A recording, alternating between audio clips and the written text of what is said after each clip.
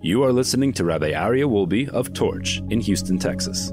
This is the Thinking Talmudist Podcast.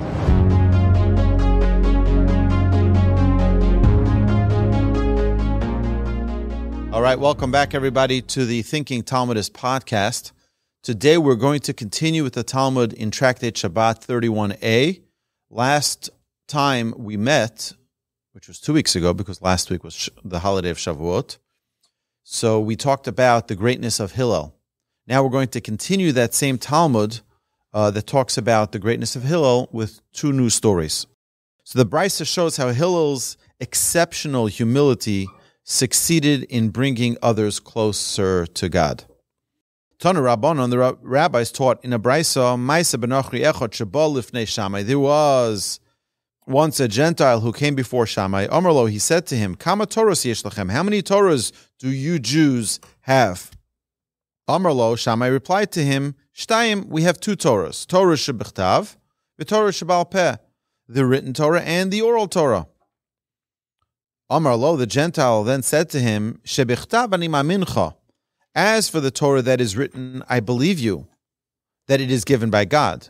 V'shebal peh eni mincha. But the concerning the Torah that is oral, I don't believe you that this is a God given document, meaning I don't trust that the tenets of the oral Torah were revealed by God like the written Torah. And then he says to convert me to Judaism on that which I shall be bound by only its tenets in the written Torah, only by the written Torah. You'll teach me only the written Torah, and that's enough. And I'm not going to take the oral Torah. Gar Bova Hotzio bin Zifa. Upon hearing this, Shammai berated him for his insolence and sent him away disapprovingly. Balifne Hillel, afterwards, the same Gentile came in front of Hillel with the same request, and Gaire, and Hillel converted him. So the Gemara teaches elsewhere that when a candidate for conversion specifically rejects a certain part of the Torah, although he may wholeheartedly accept the rest, he must be rejected. And Shammai's reject- rejection was based upon that dictum. So this is appropriate what Shammai did. However, what do we see about Hillel? Hillel felt that the person did not qualify as one who rejects part of the Torah. For his non acceptance of the oral Torah's divine origin was based on ignorance, not conviction. Hillel felt confident that in time he would be able to dispel person's doubts, and he therefore proceeded with his conversion. So there's something very important about this. Many times people say or people accuse others of being intentional sinners. Oh, are you telling me, Rabbi, that if someone drives on Shabbos, that they can still be they they can still be counted as part of the uh, the the community? And I said, yes, absolutely. You mean you can count them part of a community? Yes, absolutely. You mean you? Yes. Why? Why? Because I firmly believe that there's not a human being alive today who would desecrate the Shabbos if they knew what Shabbos was all about. I firmly believe that no one in their right mind would take the most pleasurable thing on earth and desecrate it. It's impossible. We're, the, we're living in a world where the entire civilization is obsessed with finding pleasure and you're telling me that the most pleasurable thing on planet Earth will be desecrated? It's impossible. The only reason someone would desecrate it is because they don't know its value. They don't know what it is. They've never experienced it. So I had recently someone challenged me. He says, Are you telling me that someone who grew up in a religious home and left the life of observance, you telling me that he doesn't either know? I said, Absolutely, he doesn't know. Why? Why do I say that? Because I know many people who grew up in a quote observant Shabbos observant home who didn't who don't keep it. And I can tell you that if not every single one, the vast majority only heard one thing about Shabbos, the things you're prohibited of doing on Shabbos. They didn't hear about the beauty of the Shabbos. They didn't hear about the joy of Shabbos. They didn't hear about the things you're permitted to do on Shabbos. It's not everything about what's prohibited. The prohibitions, as we said, prohibitions in the Torah are only things that preserve your holiness. It's to preserve your holiness and protect you from falling away from godliness. However, what is the performative commandments of the Torah? The performative commandments of the Torah are things that bring you closer to God. The, what we see about Shabbos is Shamar, watch over the Shabbos. Zachor, remember the Shabbos, brings you closer to God, it brings you closer to your source being Shabbos.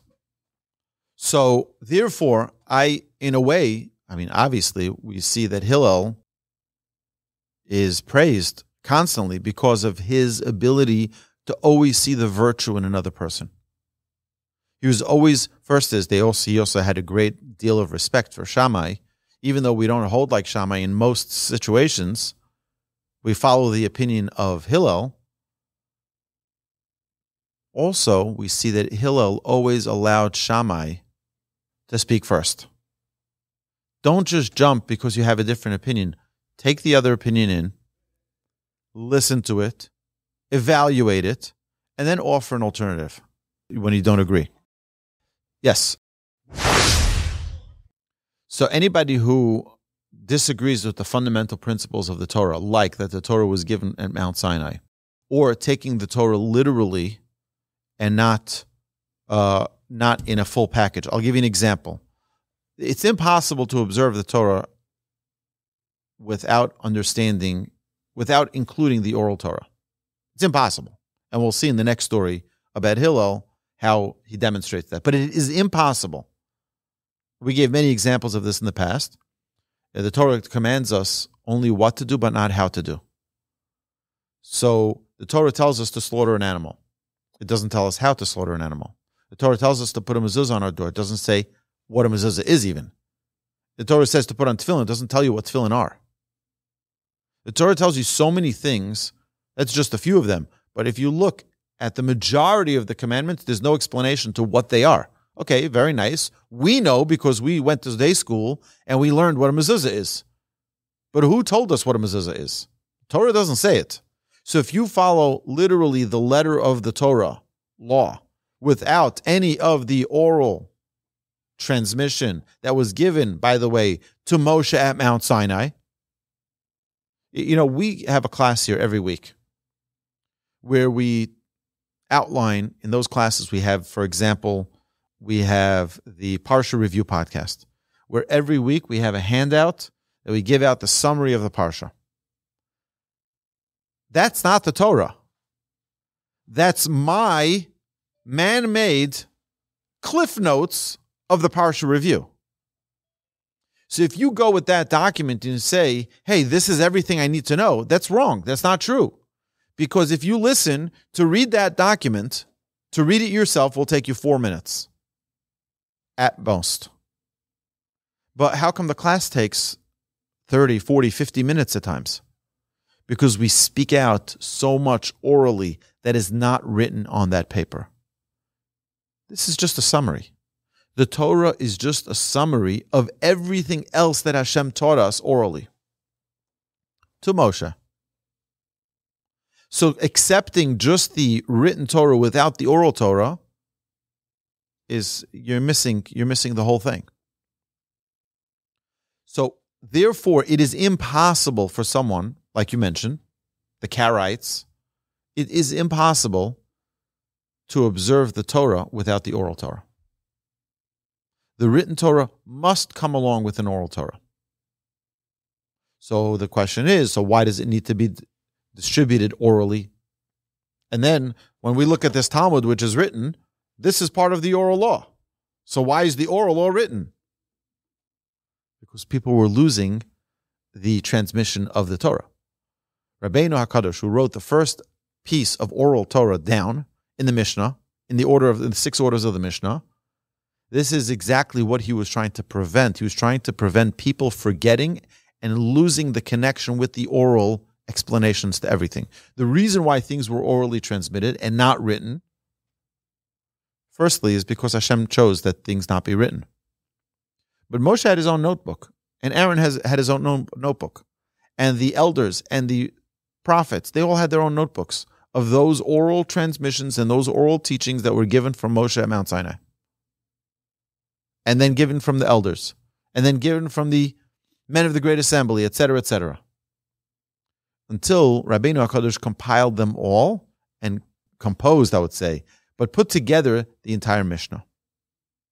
Then we have the Mishnah. The Mishnah is elaborated on even while Rabbeinu Hakadosh was still alive. They already started elaborating on the Mishnah, which is the Talmud. And then we have the Talmud discussions and arguments and conclusions that lead us to halacha, where the Rambam went through every single Mishnah, every single Talmud, every single conclusion, and then compiles all of the halacha. So it's not that, and by the way, every piece of that oral transmission that was given has a biblical source. So there's no such thing as just rabbis saying, oh, I heard this from my rabbi, and therefore it is. You have to bring a source for it. Where is it backed up in the Torah? In the written Torah. And the Talmud won't accept an argument which says, just take my word for it. There's no such thing. No taking anybody's word for it. It needs to be written in the Torah. Okay. So the Brisa relates the end of the story. Yoma Kama Amarle, one day, Hillel taught the Aleph Bet to the new convert, saying to him, Aleph, Beis, Gimel, Dalet, saying the letters of the Aleph Bet in order. Lamachar, but on the following day, when the convert came for the next lesson, Apichle, Hillel reversed the name of the letters for him, teaching him that the letter he called Aleph today, yesterday, is now called Taf, and so on. See, he taught it in the reverse order. Omar lay, taken aback by the change, the convert said to Hillel, uh, Yesterday you said differently. What are you doing today? Today you're reversing everything? Yesterday you said this was Aleph. Now you say it's Taf. Last yesterday you said that this was a a shin, and now you're saying it's a Beis. What is going on here? Amar Lo Hill replied to him, samacht? So you see then, are you not relying upon me to recognize the letters of the alphabet?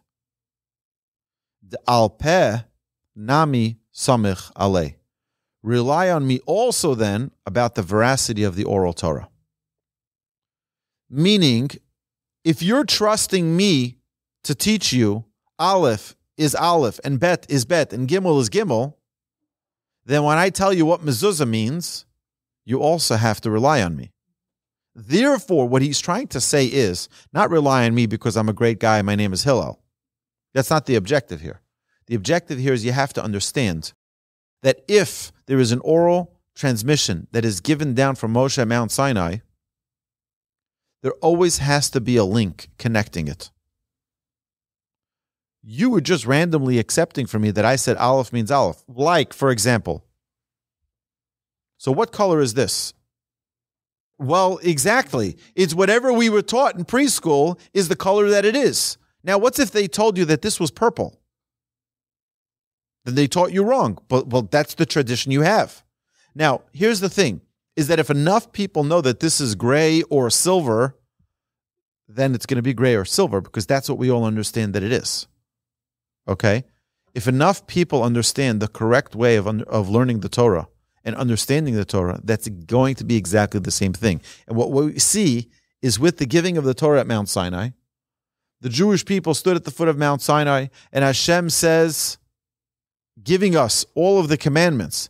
Hashem tells us exactly what the what the explanation is for everything, for each and everything. We've brought many examples over the years in our Talmud class here of different mitzvahs, different commandments, different teachings that are linked to a direct transmission, but there will always be a source connecting it to the Torah, a biblical written source to the Torah.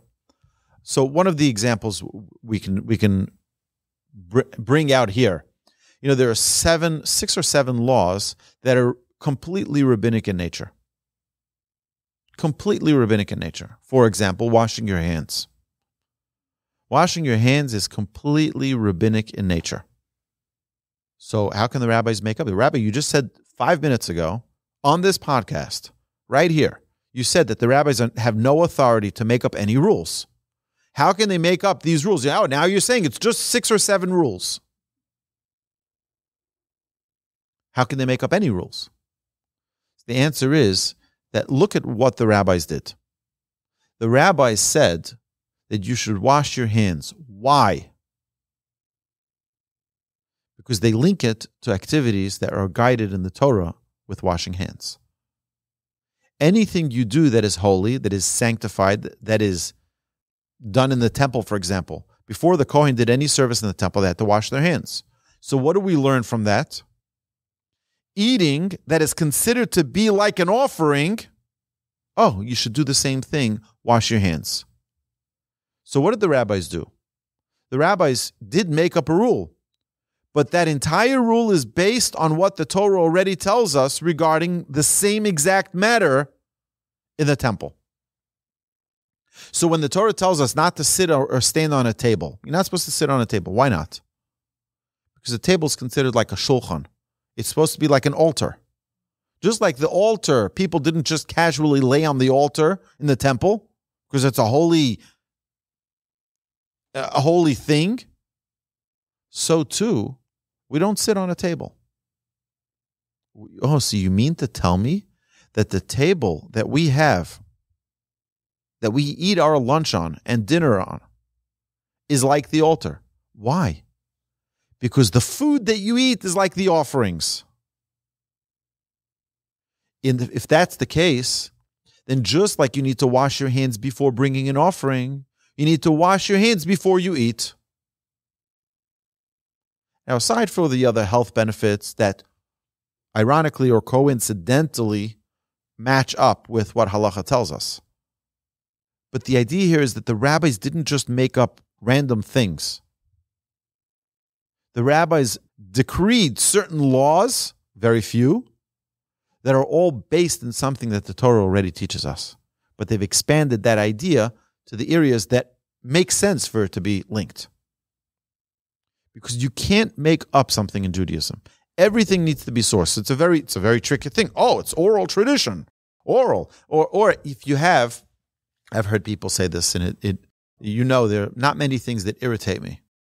But this one is a big one. It's like that, well, it's just midrash. As if the midrash is just fairy tales. Because you know what happens when you do that to midrash? First, not understanding. Just by the way, of the midrash, like the Mechilta or the Sifri, you know who that was written by? Rabbi Shimon Bar Yochai. You think he's telling you fairy tales?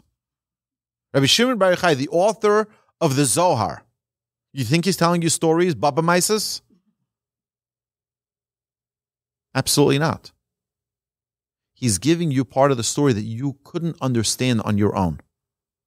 So you're coming to tell me, you bring every story from the Midrash, you tell me, ah, that can't be. Well, you have to know how to learn a Midrash. I want to address something just uh, as, a, as a, a, an interesting conversation to have. So, Reb Moshe Feinstein of blessed memory, of holy blessed memory, was once in an argument with some modern day rabbis. Modern day, you'll understand why I'm saying that in a second. So they got into this argument, and Reb Moshe, at the end of the whole discussion, it was going back and forth and back and forth. Reb Moshe said, Listen, the halacha is as follows, and it follows my ruling not yours. They said, That's arbitrary. What do you mean it follows your ruling? He says, I'll tell you why it follows mine. He says, Because my ruling follows only Torah. I have never been influenced by secular education. I have never been influenced by secular books or movies.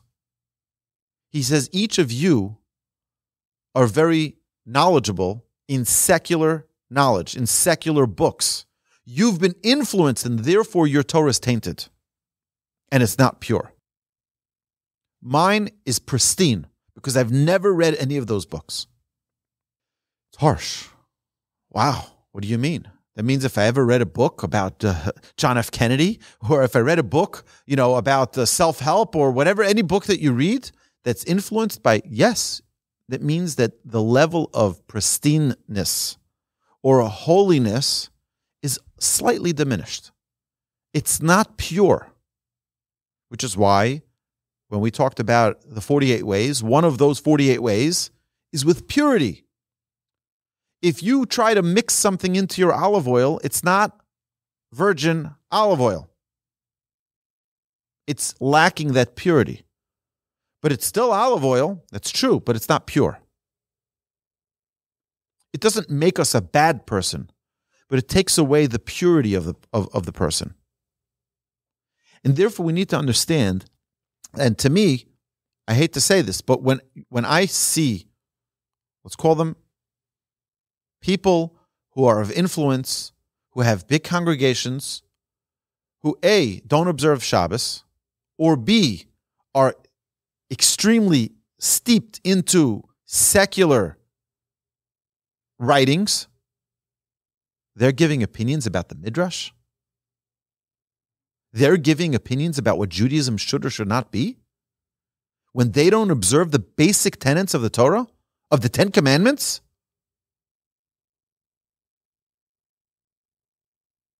it's like to me this is just like an unbelievable I, saw a video someone sent me of this reform rabbi standing in front of the pulpit and he was giving a very good speech by the way. A very good, very powerful speech talking about how we've lost our morals, we've lost our ethics, we've lost our our our our moral compass. But there he is standing in front of his congregation without a yarmulke on his head. And I ask you, is this someone you can take seriously in Judaism? Again, it was a fabulous speech. But is this the person I'm asking for advice about how to raise my children Jewishly? what is going on here? The people who are not observing the Torah are giving their opinion about the observance of Torah, about what the Torah is telling us to do. I just don't get it. That doesn't mean that they're bad people. I'm not saying that. On the contrary, I'm the one who's saying that they're mistaken people and there are loving, uh, our, our dear, precious brothers and sisters. And we have to do everything we can to bring them in and learn with them and love them and teach them. They don't know. I'm not here to disparage reform rabbis. I'm not here to, to, disparage conservative rabbis. I love them. I'm friends with many, many, many of them. The objective here is to realize that don't take your ignorance in Torah and make that your principles of Torah. If you don't follow your teachings of Torah. Because what did we learn? We learned about this recently that what happens is that when someone doesn't observe the Torah, they don't learn the Torah, then they start disparaging those who do observe the Torah, and then they start hating those who observe the Torah. It's an entire process of how this how this it, it, it disintegrates. I'm not saying that every person who speaks about Torah should have to live. I don't live everything I teach. I aspire to. I aspire to, and I definitely don't degrade things that are written explicitly in the Torah. There's a rabbi in our community who decided that some of the verbiage in Leviticus talking about homosexuality was offensive. The rabbi felt that it was arbitrarily, he felt that it was offensive. Who are you to say that God's Torah is offensive? Do you observe God's Torah? That you have the right to say that God doesn't know what he's talking about? Look, I don't walk around town telling people what they should or should not do or what they should or should not believe. Particularly, we're in a month, they call this Pride Month. People are out of their mind. That's their own problem. I don't go around pontificating this. That's not my business. Hashem tells it, and Hashem can run his own world. I'm here to teach Torah. I'm not here to teach things that are divisive either, which is why we don't mention this. We don't talk about it. But the fact that people are out there, and by the way, I'm not I'm not sad for Target losing $25 billion in a week. Good for them. They deserve it. And the same thing goes with Budweiser. They deserve it. There's a difference between someone saying, look, people have their things, things they, they do. It's your own account with the Almighty. It's your own account with the Almighty. I'm not here to judge you. I'm here to love. I've had many people come in the doors of our torch center say, Do you accept gays and lesbians? I'm like, I accept every Jew. I never asked anyone who they sleep with. It's not my business. We're here to teach Torah. We love every single Jew. You want to come learn Torah? You're welcome. You want to come here and promote your agenda? That's not what we're here for. It's not for heterosexual or homosexual. To make a difference. We're here to learn Torah. You want to learn Torah? Let's learn Torah together. You're here to promote an agenda? That's not, a, that's not the place for it. You can go to the Federation for that. So, what are we here for? We're here to understand what are the real values. What are the values that Hashem created his world with the principles that Hashem says, this is my world. I'm not here to correct anybody. I never, never have. I never told someone, you, you're in my class for how many years? Did I ever tell you you're doing something right or wrong? Never. Never. Not even once. That's not our, our objective here. Right. Uh, that's not what we're here for. We're here to learn together and to connect through Hashem's holy wisdom, through Hashem's holy Torah, and to be as godly as we can possibly be. But for someone to have the audacity to say, Hashem's words in his Torah are offensive to me. So therefore, on Yom Kippur, we're not going to read this Torah reading. It, it's just to me, it's it's unreal. It's unreal. It's unreal the chutzpah that some people have, because that's what our generation has come to. Our generation has come to. It says that in the times of Mashiach, chutzpah yaske. What will happen is that chutzpah will be so prevalent. Oh, people talking about God like he's their ex friend what does God know? It's like, you know, we've said about like atheists. Like, what, what are atheists? You think atheists are the guys who studied about God? No, they're the lazy people who said, ah, there's got to be no God. I'm just done with it. One day he's thinking, is there a God? Is there not a God? No, no God. Okay, that's it. Good job. Very intelligent you don't find that the people really invested in the wisdom of God are the ones who say there's no God. It's the people who are lazy that are the ones who say there's no God. Show me a guy who's studying in yeshiva and learning Torah. Show me one who says there's no God. One. One. The guy who's studying Torah. It is impossible to learn Torah and to not see God. So what? They just created for themselves a new category of people so that I can fit into something that makes me feel better about myself. It's all about how we feel. It's all about how we feel, not about about emes. It's not about emes. Hashem Elokechem emes. emes. emes. Hashem is emes. I'm sorry that Hashem's emes interferes with your feelings. Hashem's name is emes, truth. All right, let's continue the Gemara. How did we get off on this? Yeah, accepting everyone. We do accept. We do. We absolutely accept everyone.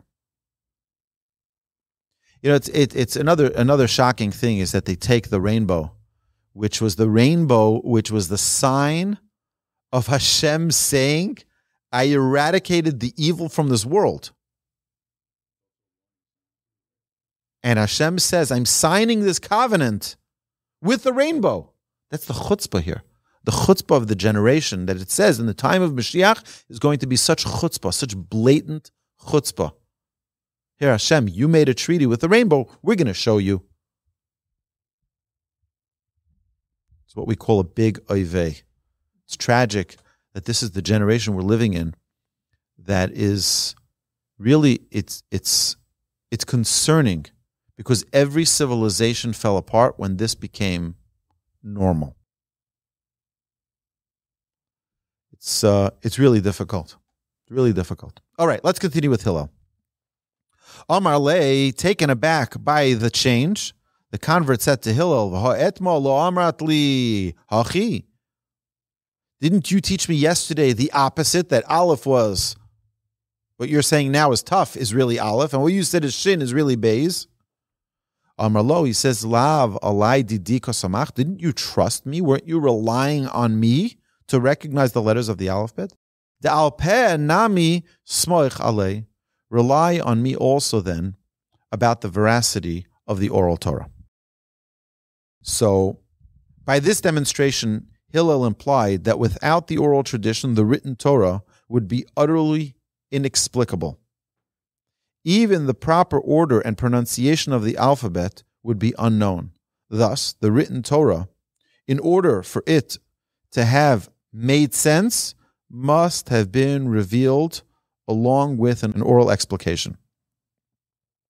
A second story, a second narrative, again depicts Hillel's interaction with a prospective convert.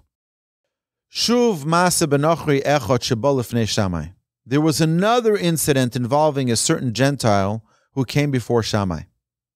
Amar, Amarlo, he said to him, Gaireni al Menashe Talamdeinu Kol Torah Kula Kishani Omed al Regal Achas. He says, Convert me to Judaism on condition that you will teach me the entire Torah while standing on one foot. Meaning, just give, give it to me in the Cliff Notes. Give it to me simple. Don't make it so complicated. I just want to hear it straight. Okay. One thing we know the Torah doesn't do, you know, we've studied hundreds of pieces of Talmud already, and we haven't even scratched the surface of the Talmud. He's like, I, I don't have patience for the whole thing. For the you're going to tell me the whole Torah is going to take forever. I'm never going to learn the whole Torah. Just teach me what I need to know while standing on one foot. How long can we stand on one foot for? Not for too long. Upon hearing these words, Shammai pushed the person away with his ruler. He pushed him away with his stick that he was holding in his hand. Balufne Hillel, undeterred, the Gentile came before Hillel and presented him with the same request. And Gaire, Hillel converted him. Amar lo, before the conversion, Hillel said to him, Da'alach sani lechavrach lo savid. That which is hateful to you, do not do to your friend, to your fellow. Zo he kol Torah kula. Thus, in a few words, this is the entire Torah. The idoch pirusha, and all the rest is an elaboration of this. This central idea, that which is hateful to your fellow, hateful to you, don't do to your fellow. Zilgmar. Now go and learn it. So it's it's an interesting thing that Hillel says here. What Hillel is saying, if you just elaborate a little bit on this idea, what Hillel is saying is that it's not enough to just learn what is hateful to me and I'll know what's hateful to my fellow. Expand that. Our sages teach us that when we talk about your fellow, what you're essentially saying is the Almighty. Your relationship with your fellow is a parallel or a comparison with how your relationship with God is. Because God is represented in all the people around us. So every person is a representation of the Almighty. Every person in our in our world. The Talmud and Sanhedrin tells us, Bishvili nivra ha'olam. A person should always say that the world was created for me. The world was created for me. What does that mean for me? You are your own world. Mark, you hear that? You are your own world. Everybody else is in their own world. What is our task to bring together all of those worlds? So we not live in our own world selfishly. Take care of myself and that's it. No, on the contrary, we see the obligation in the Torah to take care of everyone else. Meaning we have to step out of our own world. How do we do that best? With understanding who Hashem is. You know, I was just learning with my study partner last night this concept of bittul, the nothingness of the self, eradicating the self. What does that mean, eradicating the self? We're very self absorbed. We know ourselves very, very well. I know when I'm hungry. I know when I'm thirsty. I know when I'm tired. I know when I need the restroom. I know when I'm lazy. I know myself very well. How about the person sitting next to me? Why don't I know anything about them? That is the obligation for us to remove ours, because if we're not able to connect with our fellow, we're definitely not able to connect with the Almighty. And the only way to do that is to remove the self, the selfishness, the self absorbedness.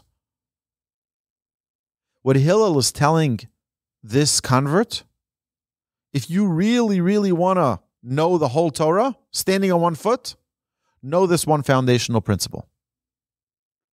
What you hate, don't do unto your friend. You hate being neglected, don't neglect the Almighty. You love being connected, connect with the Almighty. You'll know everything. Abraham didn't have a Torah given to him yet, yet he followed the Torah. How did he know that? Because he had this one principle. One principle that guided his entire way. If you look at the commentaries, Maharsha suggests that, so he says like this he says that this convert wished to know whether the Torah could in fact be made to stand on one foot. That is, whether one could identify any single foundational principle upon which the entire Torah was based. Shammai replied to him in the negative, pushing him aside with his ruler, used to measure foundations of buildings. Through this gesture, Shammai implied that just as the building cannot stand on a single pedestal, but rather is made with a broad and well laid out foundation, so too the Torah cannot be reduced to a single principle. Rather, its precepts are broad in scope and cannot be neatly summed up into one statement. So now we understand why he pushed them away with a ruler. This is a ruler for a foundation. You have to understand that in order for the Torah to stand, there needs to be a foundation. You can't just put it on one principle. The basic question presents itself here, Hillel's dictum, and that is that which is hateful to you, do not do to your fellow. It seems to provide an accurate summary of the Torah's laws governing relationships between man and his fellow man. But how does it summarize those mitzvahs that deal with man's relationship with God? So Rashi deals with this and offers two approaches. Number one, Sehil's dictum in fact applies only to mitzvahs that govern man's relationship with his fellow man. Nevertheless, Hillel's words are an accurate synopsis of the Torah since they summarize most of the Torah's commands, because most of the Torah's commands is how to deal men with their fellow men. In another approach, Rashi suggests that the phrase, do not do to your fellow, also means do not do to God, like we just explained. Indeed, in Scripture, God is sometimes called a Rea, a fellow of man. Under this interpretation, Hillel's dictum exhorts us to follow every mitzvah in the Torah just as one finds it hateful when someone disregards his wishes, so too one ought not disregard God's wishes, as embodied in the mitzvahs in the Torah. God tells us how He wants us to conduct ourselves. Now, again, God doesn't just tell it to us in a vacuum. Because God, who's our manufacturer, our creator, says, if you want to have a relationship with me, this is what you need to do. if you want to maintain that relationship with me, this is what you need not to do. Not the, the commandments of kosher, for example, are not to tell you, eat this, don't eat that. Rather, it's telling you eating this can create the vessel through which we can connect. Eating that which I tell you not to eat is going to block those channels of us, our connection with the Almighty. There are things that a person, if a person eats where the Torah tells us not to eat them, the spiritual connectors, the spiritual receptors are going to be clogged. And therefore, one is not going to be able to connect to God in the proper way. Now, of course, we know, just to make it very, very clear, that everything that we mentioned today needs to be put into perspective. Of course, number one is we're not judging anyone. But number two, we have to remember that God always welcomes us back. God wants us to be on the right path. Hashem wants a relationship with us. Hashem desires a relationship with us. And therefore, what we need to do is to recognize, you know what? If we made a mistake, we had a miscalculation, a misunderstanding, that's fine. Hashem wants us close. We say, Hashem, I'm sorry, just like you do with any relationship, with any human being. You hurt their feelings, you insult them. What do you do? You go over and be a mensch and you say, I'm sorry. And what happens if they're nice? They'll say, Okay, I accept your apology. Hashem is forgiving, Hashem is loving. All we need to do is approach Hashem and say, You know what? I made a mistake. I ate something I shouldn't have eaten. I went someplace I shouldn't have gone. I did something I shouldn't have done. Because Hashem loves us and He wants that relationship with us. The Maharsha notes that Hillel's words are apparently based on the biblical commandment in Leviticus 19 that says, kamocha, you should love your neighbor, your fellow, as yourself. Yet, whereas the Torah, Torah phrases this commandment in the affirmative, love your neighbor, Hillel seems to give it only a negative application. Do not do to your fellow. Hillel limits the passage in this way as the Maharsha suggests, because these words appear immediately after the negative commandment, lo sikom lo sitor, that you shall not take revenge and you shall not bear a grudge. This implication is thus that the maxim of love your neighbor is primarily defined in terms of what one ought not to do to someone else, someone's fellow, someone else, rather of what the, one ought to do for him.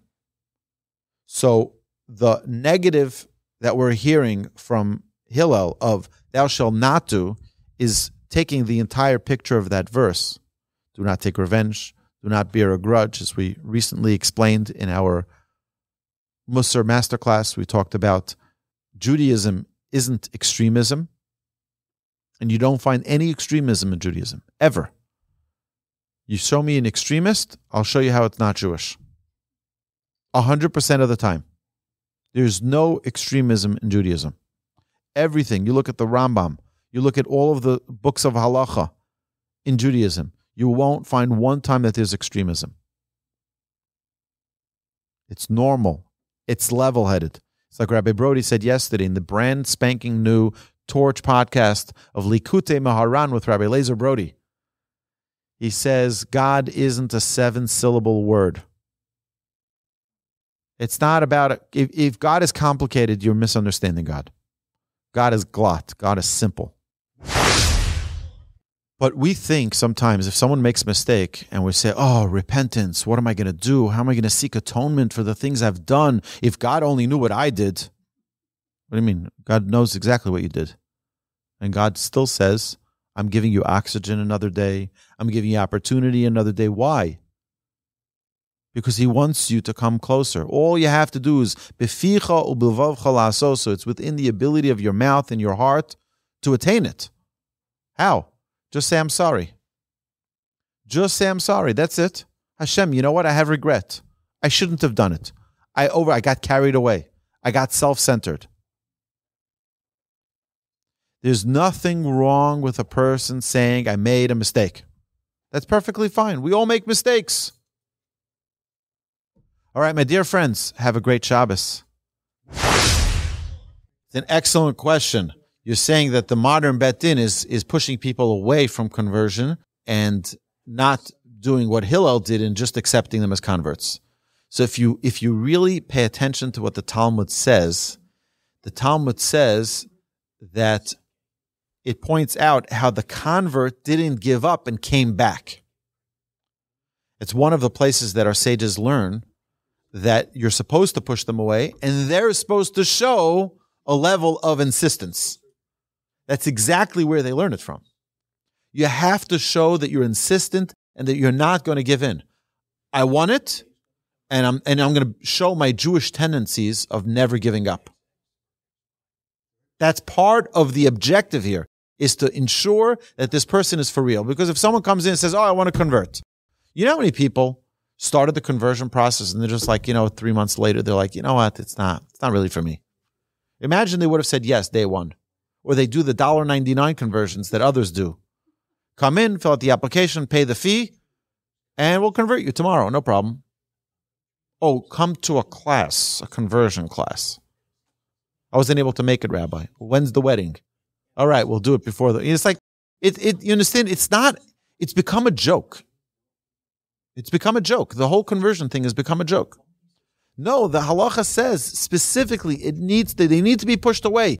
They need to want it. They need to really want it.